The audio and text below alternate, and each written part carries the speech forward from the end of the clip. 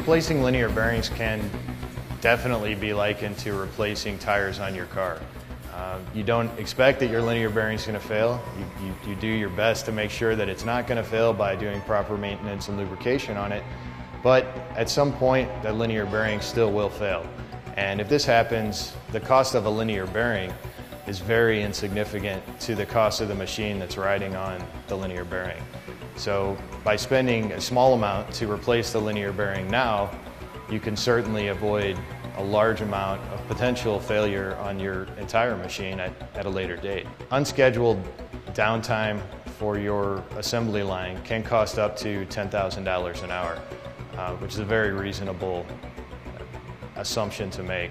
So when you have ability to shut the line down and check your linear bearings, it, it's definitely recommended because you can, you can, the linear bearings can help prevent that unscheduled downtime. One of the reasons why we're looking at this rig is to observe some of the indicators that one might actually notice regarding a failed bearing. And in this particular case, if you listen carefully, you can actually hear the noise of the uh, bearings as it goes through. It's actually rougher. You can actually hear a clicking noise. It's actually causing a stuttering in the movement. And if one were to actually feel the product, you can actually feel the vibrations as it runs back and forth as well. You can look to see if they're actually grooving on the shaft itself, and as well, take a sample off of the surface to look for um, metal particulates.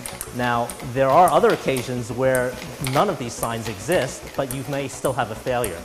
More often, you'd want to actually monitor the load variation. And one of the things you can do is actually check the vibration. So on here, you can actually see the uh, variation that we have from the load.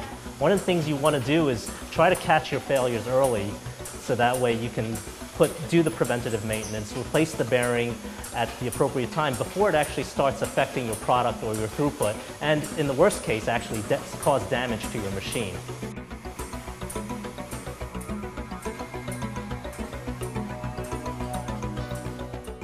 So what we're going to do right now is that we're going to take out the uh, failed bearing, and uh, what he's going to do is he's going to unload the load cell, uh, block off the uh, load plate, and then pull the shaft out, replace the bearing, put in a brand new bearing.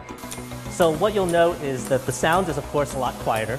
You can actually, in touching this rig, you can tell that it's not jumping up and down anymore. You don't feel the vibrations. You don't hear it either. And what we've done is we've gone ahead and sub basically applied the same load that we had on the prior bearing. These bearings are, clearly has seen better days. What we did was we went ahead and replaced them during part of our standard maintenance cycle. You can see from here, you know, the fact that it, the, the, whole bearing is, is actually fairly dry. What lubrication that there is is actually, that's caked on there is all, it's discolored. So rather than waiting for any sort of a failure or things like that, you want to definitely maintain this bearing on a regular cycle. But in this case, there was actually no clear manifestation, and it's those hidden uh, failures that are probably going to be worse. Now is the time to think about replacing your linear bearings, taking a look at them, making sure they're lubricated. If there's any sort of you know signs of warning signs of failure, um, it's a good time to think about doing it while you've got your retooling process going on or factory shutdown for the summer. Make sure you've got the stock. Make sure your local distributors, uh, you know who they are. If you have any questions, you can certainly contact Thomson directly and we'll be glad to point you to a distributor that can help you find Thomson product.